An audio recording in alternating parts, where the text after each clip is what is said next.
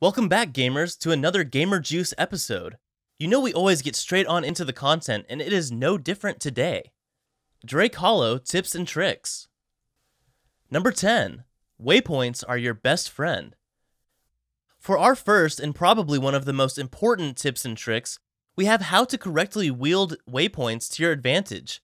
They allow you to travel and you can return them to your inventory by dismantling them when you're done.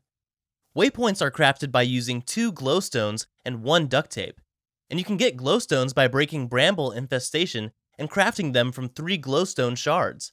As soon as you get the chance, you need to unlock the Advanced Curio Workshop, which allows you to turn glowstone shards into waypoints. If you can place waypoints around the world and connect them together, you get to speed through the air and not have to use Aether wards to traverse through the Aether. Waypoints are a great way to avoid the feral enemies seeking to destroy you, and they allow you to safely get back to your base. In addition to using the waypoint system for traveling, you can connect to supply trucks on certain islands. As long as they're connected to your waypoint network, this allows them to deliver resources to your base. In time, you'll have your own personal highway, and resources wise, they'll do nearly all the work for you. Besides traveling, Waypoints can lead you to hidden chests and spots where you can find schematics. And a bonus pro tip in order to maximize waypoint distance, you can hold the button to place and walk until your supply truck or your last waypoint loses the yellow outline. You'll need to walk back so it just appears, then place your waypoint right there. And if you ever want to change directions while traveling by the waypoint system, you can double tap jump while spinning on a waypoint line However, be careful if you're doing that over the Aether. Number 9. Take advantage of blocking. Our next advice is related to blocking damages. This will be an immense help if you're ever overwhelmed. Whether you're up against enemies charging you or ranged attacks, learning how to correctly block will save you some serious damage.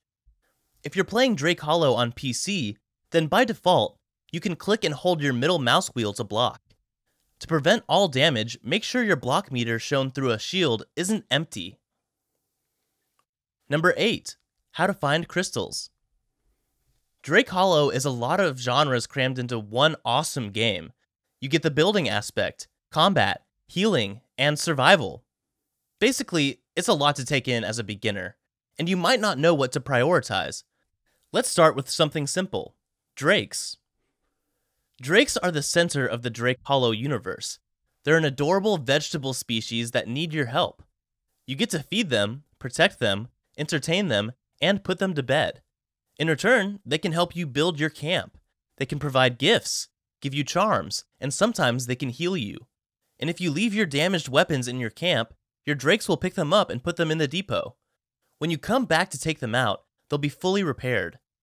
So Drake Hollow has something called crystals, which allow you to essentially upgrade your drakes and age them up. Each type of drake needs a unique crystal, and different ages need different sizes and cuts of crystals. You can find these precious gems while exploring different islands. Breaking up bramble infestations on each island you encounter, and fighting enemies are the most common ways to find them. If you're lucky, sometimes, but this is rare, drakes can give you some as gifts. Another way you can find crystals are by killing enemies. The map will show you regions where you can look after using the lighthouse. You'll know crystals when you see them because once you're near, they'll have a glowing animation in the ground. Then you can go back to your base and click the Give Crystal button on the right side to upgrade them. If you're tired of the Drake's same repeated animations, you can just avoid them by immediately backing away after the interaction. Number 7. Schematics and where to find them. The deeper you go into the game, the more you'll need schematics because you'll need to use them to unlock new buildings for your camp. It's inevitable. Schematics can be found on random islands, and they'll be laying on the ground or you can find them in junk piles like in glowing shopping carts. If you're just a beginner, you don't have to worry that much about schematics because most upgrades to your camp level often only need one schematic. Adding to that, you'll also need charms to construct your buildings. Luckily, Drakes provide a renewable source of charms. Players in Drake Hollow only need to interact with their Drakes to get the benefits.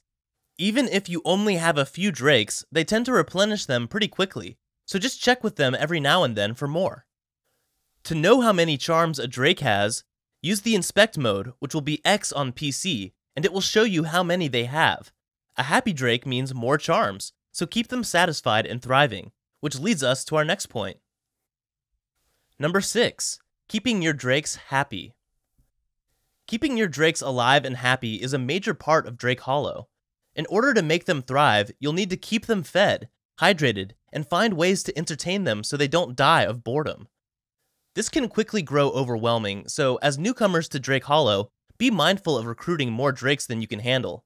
We know it's very tempting to pick up every little one, but you need to be prepared to feed them before adopting new ones and upgrading your current residents. When you're upgrading your camp, your priorities should be building the lobster pen, the cleansing water cooler, and the pinball machine.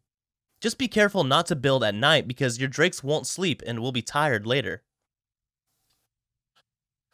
Number 5. Defense System To protect yourself and your drakes in camp, you need to brace yourself against potential inevitable raids. Start your defense system by building a fence. Stack and cluster some important items like food and water, then build more fencing around that to protect it.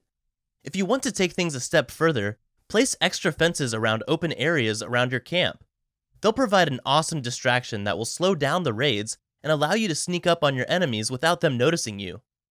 These fences can be randomly placed, even with gaps, and your enemies will still focus on them. As far as defense systems go, these are very cheap to build.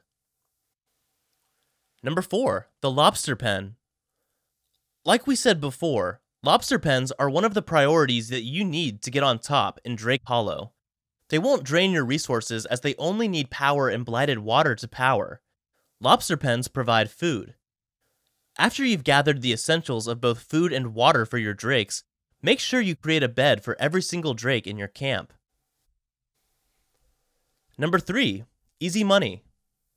In Drake Hollow, after doing lumber runs, if you have an abundance of twigs, grass, and leaf bundles, you can sell them to the magpie for one shiny piece each. This tip is very important, especially because these items are not used too much in crafting. Therefore, you're essentially just reaping in the rewards without much work. This way, you can accumulate a good amount of shiny stuff for future purchases, especially when you're still a beginner. Number 2. Where to find items. For our number 2 tip, we're bringing you the best spots to find items and materials. So, you can find materials like stone, circuitry, and metal only at supply trucks and supply caches. As soon as you're able to get your hands on a dowsing rod, you'll find that they're invaluable at indicating materials. Meanwhile, things like lumber can be found by harvesting and chopping trees, buying them from the magpie, and finding them in supply trucks and caches. Materials like these won't appear in your depot, they can be found at the top right of your bag and the depot screen. Number 1. How to avoid raids. And at the top of our list, we have one of the most useful tips that we've found. In Drake Hollow, one moment you're kicking back in your camp, enjoying the company of your drakes, and the next, you're fighting off a raid of enemies. These enemies come in swarms and will periodically attack your base, trying to destroy all your hard work of building a functional and efficient camp. To protect your base as much as possible, defenses like traps, walls, and decoys can go a long way. Raids aren't just happening non-stop, you know. They occur periodically, and if you're outside, you'll get a timer for when the raid is about to start, so you can race home. For our trick concerning this part of Drake Hollow, we have a way you can extend or earn more time for yourself before raids. If you notice, raids happen more often when you're doing nothing at your camp. However, if you're out smacking and killing stuff, the time before the raid starts extends. If you kill those thorny red plants, more time will be added to the timer. If you build tech at the camp, time can be dramatically subtracted. Sometimes, if you're building things like beds, the timer might jump from 3 minutes to 30 seconds. Alright gamers, we hope you enjoyed the list because that's going to wrap it up. If you did in fact watch the video all the way through, we appreciate you so much, and we hope that you enjoyed it enough to hit that like button, subscribe to the channel, and hit that notification bell because we're always releasing more content. As always, we'll see you in the next one.